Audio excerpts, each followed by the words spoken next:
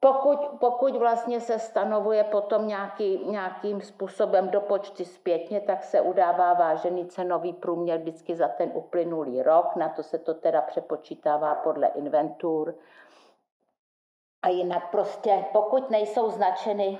značeny teda cigarety tabákovými nálepkama, tak se buď počítá, když bych řekla, jako daňový únik, podle toho, že to je, jak řeknu, když to bude imitace Melbora a budou to falešný Melbora, tak se stanoví daň, jako by to byly Melbora a vychází se tý, z té ceny na ty Melbora, protože ta cena je stanovená. Pokud se na tom trhu objeví neznačený cigarety, nějaká Ukrajina nebo něco, co vůbec jako u nás u nás nemá nějakým způsobem stanovenou cenu nebo se nedá něčemu přiblížit, tak se potom počítá ten daňový únik podle toho váženého cenového průměru za ten uplynulý rok.